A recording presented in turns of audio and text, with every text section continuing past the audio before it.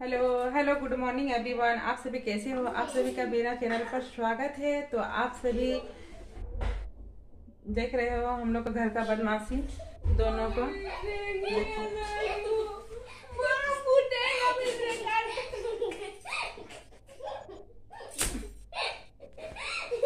देखिए इन लोग ऐसे ही अभी दिन भर ऐसे ही लड़ेगा। आकृति बदमाश है?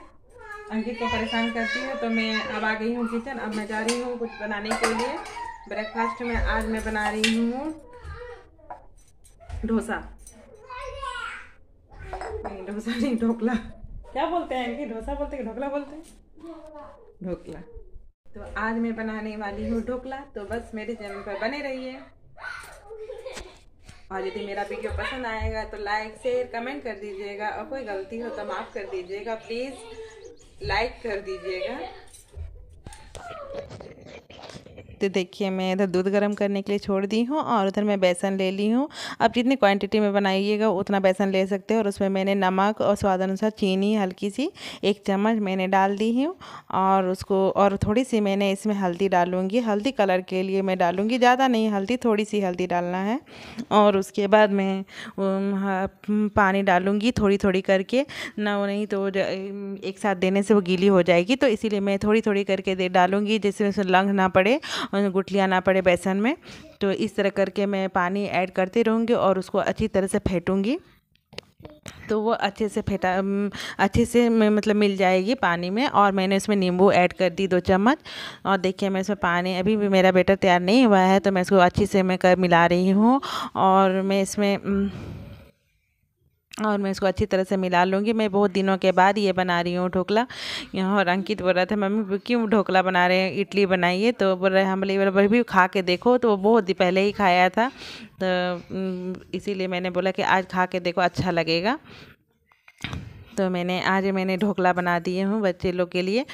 तो देखिए, मैं उसके पंद्रह मिनट के लिए रेस्ट करने के लिए छोड़ दूँगी और इसमें मैंने, आप लोग को मैंने दिखा नहीं पाई हूँ, मैं इसमें एक कच्ची मिर्च और लहसन थोड़ा सा पेस्ट बना के उसमें मैंने ऐड कर दिया था और मैं इसे थोड़ी सी और एक चम्मच बेसन ऐड करूँगी।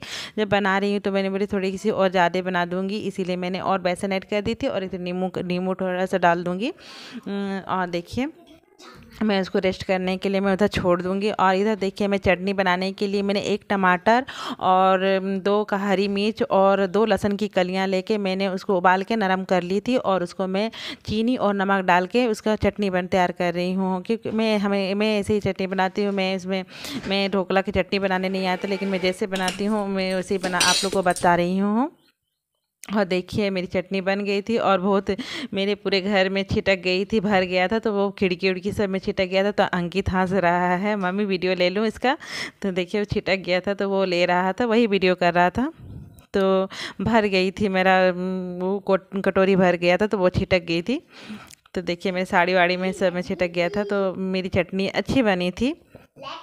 और इधर देखिए, मेरा बेटर, मैंने थोड़ा सा कम ढीला कम ढीला छोड़ा था तो मैंने और उसमें तो मैंने देखे पानी दे के और अच्छा से अच्छा से उसको बना रही हूँ और इधर मैं पानी गर्म करने के लिए छोड़ दी हूँ। मेरी पानी उधर गर्म हो रही है और इधर मैंने रिफाइन ऑयल लेके मैं इसे बर्तनों में ग्रीस कर लूँगी। तो इडली के और बर्तन है तो मैं इसमें इतना ही ली हूँ क्योंकि मैं जानती थी कि मुझे इतना ही की ज़रूरत है तो मैं इतना ही ली थी तो मेरे इसमें से सोलह ढोकला बन गया था। और मैं इसमें सबसे जो ज़रूरी है वो मैं डालूँगी लास्ट में।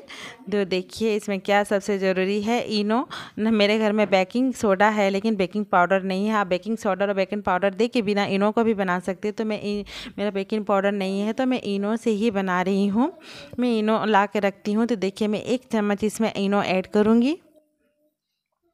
तो यही, ये सबसे ख़ास प्रोसेस है। ढोकला का। तो देखिए मैं झटपट बनने वाली तो इनो का ज़रूरत पड़ता ही है।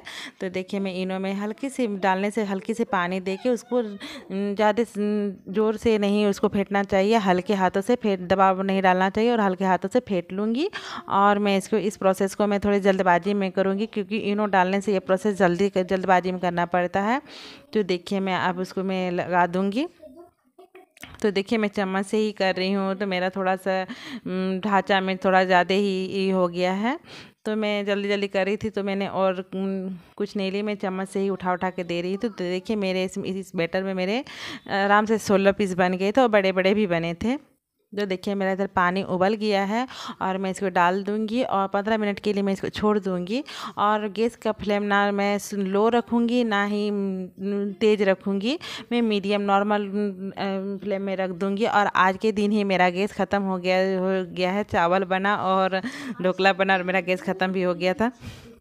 और देखिए, इधर मैं ठंड होने के लिए छोड़ दी थी तो अंकित बोल बोला मैं बन, निकालूँगी और निकालूँगा और आकृति बोली, मैं निकालूँगी। तो मैंने बोला कि, ठीक है, तुम ही लोग निकालो, मैं चटनी तैयार कर रही हूँ। तो मेरी चटनी बन गई थी, पीस के मैंने तैयार कर ली थी, लेकिन मैं इसमें कलर डालने के लिए मैंने, देखिए, अंकित इधर सजा भी रहा है। हाँ वो देखिए कितना अच्छा से सजा के वो किचन लेके जाएगा। और देखिए मैं इधर मेरे ढोकले बहुत सॉफ्ट बने थे और स्पंजी भी बने थे। तो देखिए मैं चटनी मेरी रेड इसलिए लग रही है क्योंकि ढोकला की चटनी रेड होती है। तो मैंने उसमें फ्राई पैन में डाल के उसमें थोड़ी सी हल्की सी बूंदिया के रेड कलर डाल दी थी और हल्का सा उबाल, आने तक उबाल दिया था। तो मेरा चटनी बहुत अच्छा भी बना था और खाने में भी बहुत टेस्टी लग रहा था। और इधर देखिए मैंने पेन में रिफाइन ऑयल गर्म करने के लिए दे दी हूँ और उसमें मैं राई डालूँगी। मेरे घर में पीली राई है तो मैं पीली राई ऐड करूँगी और मैंने कड़ी पत्ते में कड़ी पत्ता धो के, सुखा के उसको स्टोर करके रखी हूँ। तो वो कड़ी पत्ता और देखिए मैं इसमें दो हरी मिर्च डाल दी हूँ और उसको तीन हरी मिर्च डाली हूँ। तो मैं इसको थोड़ी से हल्के से फ्राई कर लूँगी ताकि वो राई के कलर थोड़ा सा ब्लैक हो जाए। तो मैं राई को फ्राई कर लूँगी। और देखिए, मैं उधर चीनी और पानी ऐड कर रही हूँ और जब ये फ्राई हो चुकी, हो जाएगी तो मैं इसमें इसमें चीनी का पानी भी ऐड कर दूँगी। लास्ट में ये प्रोसेस होगा तो देखिए, मेरा फ्राई हो चुका है। अब मैं इसमें नींबू के दो चम्मच नींबू का रस ऐड कर दूँगी। तो देखिए, आप देख सकते हो, ये फ्राई हो चुकी है। तो मैं इसको अच्छी से फ्राई फ्राई कर लूँगी और उसके बाद मैं इसमें दो चम्मच नींबू ऐड कर दूँगी। नींबू देखिए मेरा दो चम्मच था, नींबू ऐड कर दूँगी और और सावधानी से देना पड़ता है क्योंकि पानी पड़ेगा तो इसलिए छिटक रहा था तो अंकित को बोला, मैं साइड हो जा बेटा।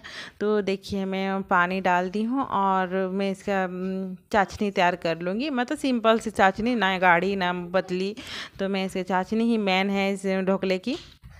तो देखिए, मैं इसमें और थोड़ी सी चीनी ऐड कर दूँगी। और देखिए, मैं नींबू हल्की सी थी तो मैंने बोली और ऐड दे दे रही हूँ तो मैंने और एक थोड़ी सी नींबू डाल दी और मैं थोड़ी सी उसमें चीनी और एक थोड़ा ऐड कर दूँगी। और नींबू के कुछ बीचे थे तो वही मैं निकाल रही थी। तो मैं इस तरह करके चाशनी भी तैयार कर लूँगी। और आप ढोकले को सॉस दे के भी खा सकते हो, टोमेटो केचप दे के भी खा सकते हो, लेकिन मैं घर की चटनी जो बनाती हूँ तो वही अच्छा लगता है इनकी सॉस नहीं खाता है। और आकृति भी वही चटनी के साथ खाई थी। देखिए, अभी मेरी चाशनी तैयार हो चुकी है और मैं इस ढोकले में लगा दूँगी। और ये चाशनी हम इस ढोकलों में एब्जॉर्ब कर लेती है। जितना दीजिएगा और भी अच्छी टेस्ट टेस्ट इसका उभर के आएगा। तो देखिए मैं चाशनी मैंने सब में डाल दूँगी इस तरह करके और मैंने प्लेट भी लगा दिया था। मैंने सास ससुर को भी लगा दी थी देने के लिए और बच्चों के लिए भी मैं लगा दूँगी। तो देखिए, मैं इधर बना, मेरा ढोकला बहुत ही स्पंजी बना था और सॉफ्ट बना था। और जल्द भी बन गया था। तो यदि मेरी ढोकले की रेसिपी अच्छी लगी हो तो लाइक शेयर कमेंट कर दीजिएगा। और इधर मैं लंच की भी तैयारी करी थी। Bye bye